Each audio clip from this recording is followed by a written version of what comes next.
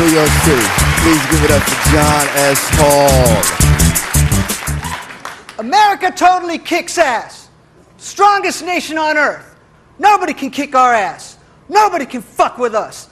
We are motherfucking hard, like a gangster with a nine by our side, except there's no 5 gonna roll up and beat our ass down, and we're not really criminals because there's no international law. No international law because there's no international courts, and there's no international courts because we refuse to recognize any court that might ever try to stop us from doing whatever the fuck we want. No trials, no courts, no laws for America. So we can do whatever the fuck we want, and we're not even criminals. Doesn't that kick ass? What an excellent country. We've gotten rid of our hypocrisy too. We used to make bullshit excuses for whatever it is we wanted to do. We would tell the world it was because of human rights, or that country's a dictatorship, or they attacked first. We don't do that anymore because we understand. We don't have to justify ourselves. We don't have to tell the rest of the world shit. We do whatever the fuck we want for one reason and one reason only because we can.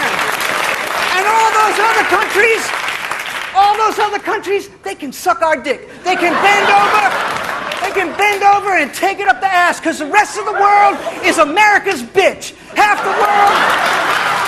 Half the world works for pennies a day to make us fat and rich. The deal is they maybe get to eat, we get cheap clothes, cheap oil, whatever the fuck we want, and if they don't like it, they can suck on it because the rest of the world is America's bitch. What are they gonna do? Gang up on us? Ostracize us? Let them fucking try. We are America and we will fuck them up. And if they ever try to hurt us, we'll just use it as an excuse to go even more medieval on their ass because we can. Because America's all powerful. America kicks ass. And America doesn't have to answer to anybody unless or until God or the space aliens come to kick our ass.